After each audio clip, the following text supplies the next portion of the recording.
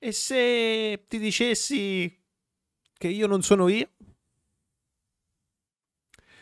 Per esempio, ci sono delle tecniche che ti fanno sembrare a volte quello che non è e sfruttando un principio che ogni buon hacker conosce è il trust, cioè la fiducia che si instaura tra me che sono al telefono o un messaggio o un'email che io posso mandarti e tu che credi che io realmente sia quello che ti faccio vedere che sono, però potrebbe essere che non sono realmente chi sono. Per esempio, potrei essere una società di assicurazioni, potrei essere una banca, potrei essere un tuo amico, potrei essere un tuo conoscente, potrei essere chiunque. E tu non ci crederesti che io non sia quello che ti faccio vedere che io sono. Ora, dopo tutto questo giro di parole, ti dico che un, una della, delle caratteristiche di un buon hacker non è quella che si vede nei film che clicca o scrive due comandi e pamfete, gli appare tutto. No, quello è solo nei film. Una delle um, caratteristiche principali che un hacker dovrebbe o deve avere è la pazienza. La seconda è la ricerca. La ricerca delle informazioni è importantissima. E dove si trovano queste informazioni? Beh, si trovano per esempio nei uh, curriculum.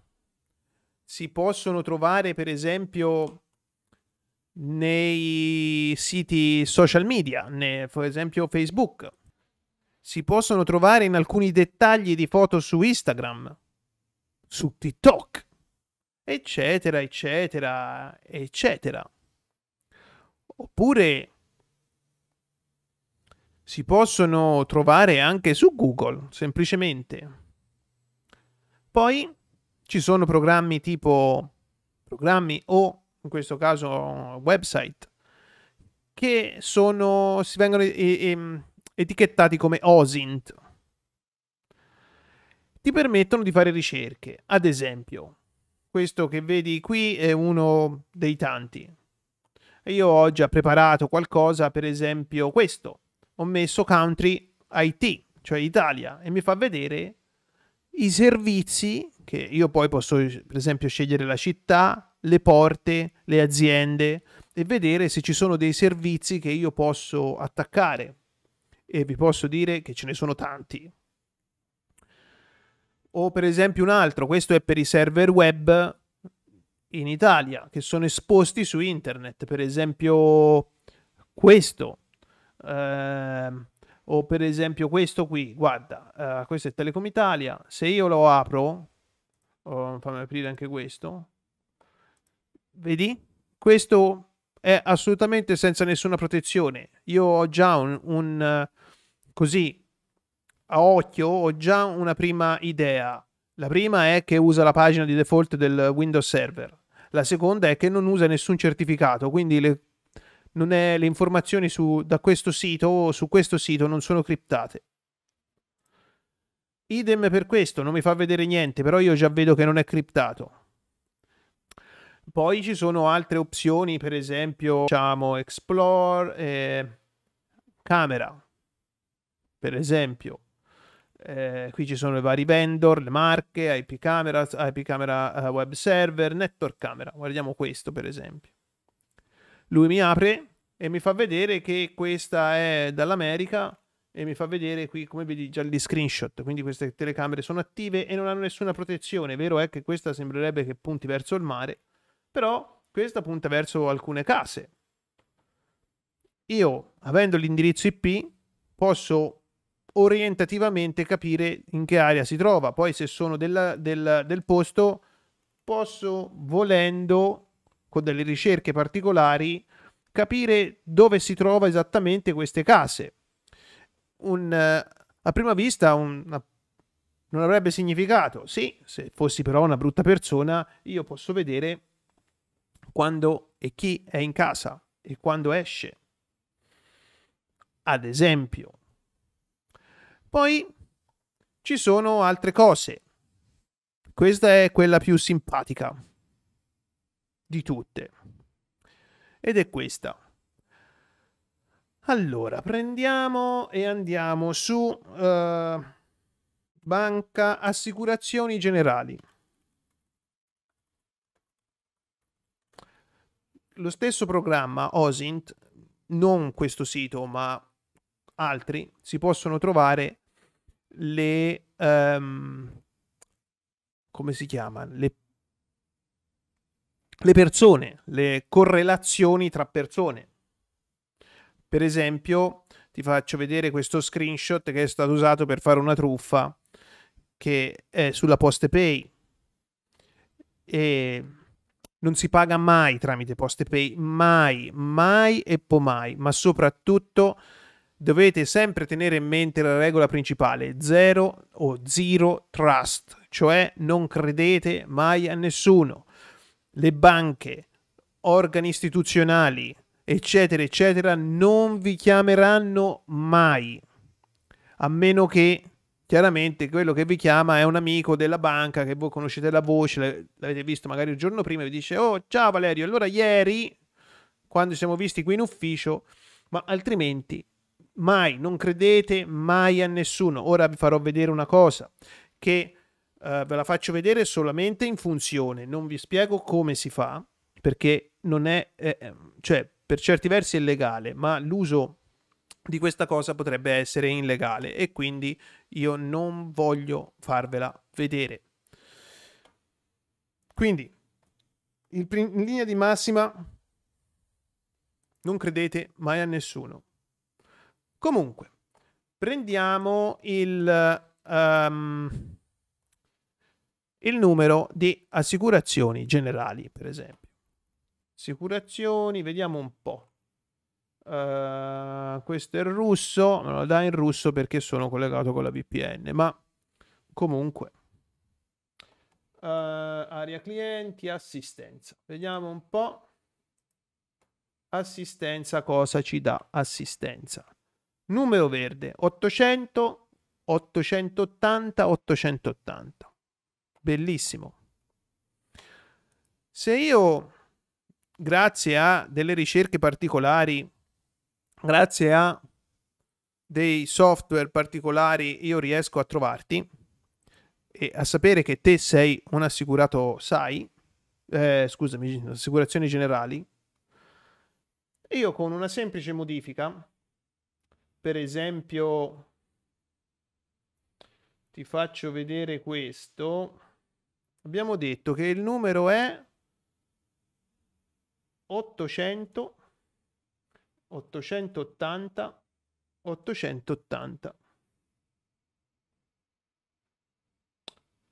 stiamo a guardare cosa succede. Copio. Ora, per il momento non vedi niente, però dammi un attimo che vedrai. Provo col numero verde. Col numero verde non ho ancora provato, però con gli altri numeri non c'è problemi, funziona tutto. E io provo qui a chiamare il mio cellulare. Guardiamo cosa succede. Suona. Ok, il numero verde non funziona. Eh, fermati. Col numero... No, non me lo fa chiamare. Poi soprattutto non so perché non mi fa vedere il display.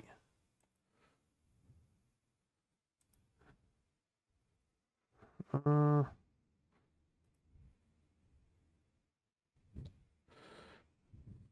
Sì, perché i numeri verdi molto probabilmente non, non funzionano, però aspetta un attimo. Allora, Proviamo con un altro numero. Proviamo con Revolut. Questo funziona di sicuro perché ho provato oggi. Eh, Revolut supporto clienti. Eh, contatta Revolut, bla bla bla. Vediamo un po'. How do contact the customer service?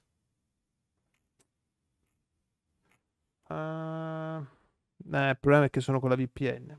Questo te lo dico io perché alcuni numeri non me li fa vedere, però.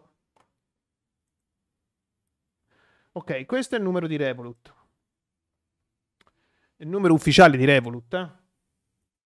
Quindi chi è Revolut lo sa. Allora mettiamo questo numero, più 44 20 33 22 8 uh, 52. 8 3 5 2 e riprovo a chiamare il mio cellulare che spero questa volta funzioni bene. Uh, un attimo solo. Fammi prendere questo. Eh, lo vedi che non funziona. Oh. Anydesk per il cellulare, mm, mica tanto buono, sai. Però eh, sfortunatamente devo usare Anydesk perché il programma che uso di solito è, non funziona. Allora, riproviamo a chiamare il cellulare. Però stavolta se mi appare il numero di Revolut. Ecco qua. Questo è il numero di Revolut. Guarda un po' che c'è scritto. Revolut. Te cliente Revolut. Credi che io sia Revolut. E ho trovato le tue informazioni chiaramente prima di, di chiamarti. Eh. E...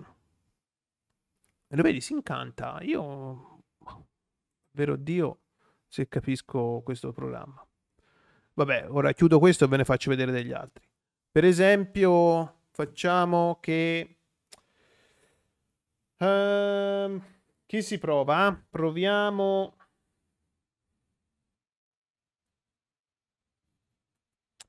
Qualcuno in Italia.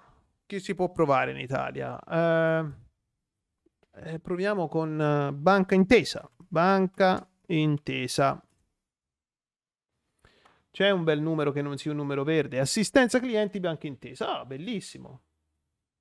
Il numero ufficiale è 0039 011 801 9200. Adesso riprovo a chiamare il mio cellulare e guardiamo cosa succede. Succederà come prima con Revolut, uguale. Eccolo qua. Ora ve lo faccio vedere da qui che si fa prima perché tanto con Anydesk non funziona. 80, 92, 0. Ah, ho fatto uno 0 o meno. Comunque il numero è questo. Ah, dov'è? Eccolo qua. Eccetera, eccetera, eccetera. Ecco perché non dovete mai credere a nessuno. Zero trust. Non credete mai a nessuno se vi chiamano e vi dicano sono del Dipartimento di Sicurezza, la sua carta, i suoi soldi, è una truffa. Vi stanno rubando, al momento che rispondete, vi stanno truffando. Non inviate mai soldi a nessuno. Lo so che potrebbe sembrare una cosa ovvia, ma sfortunatamente c'è persone che lo fanno per questo. Uh, per questa cosa innata delle persone di credere di credere eh, in questo che è un problema, che è il trust, la fiducia, di dare fiducia perché il numero è giusto, te conosci i miei dati e te mi, mi... io ci credo che sei Pinco Pallino. Dal CV, il CV europeo è una fonte inestimabile di dati. Con il CV europeo, avendo il vostro nome e cognome, di per sé non servirebbero a niente, ma ho la vostra data di nascita e so anche dove vivete. E non solo, per alcuni casi si potrebbe rivelare pericoloso. Ma con queste informazioni io posso fare il codice fiscale. Con il codice fiscale io posso aprire un, un uh, conto corrente online senza che tu sappia niente.